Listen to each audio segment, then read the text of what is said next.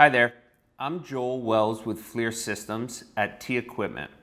Today I have the T540 SC camera, which is a portable uncooled microbolometer.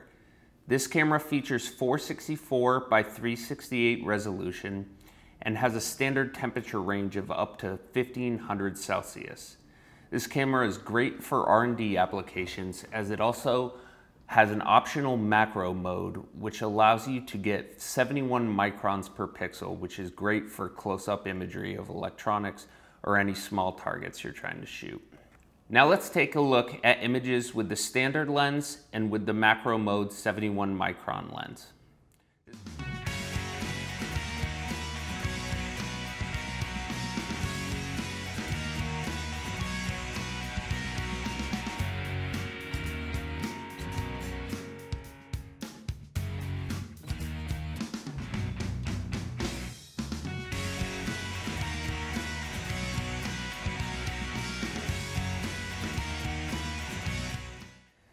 This camera has standard tripod mount, so you can also use it as a fixed unit, but it is portable and comes with two batteries and a 2-bay charger.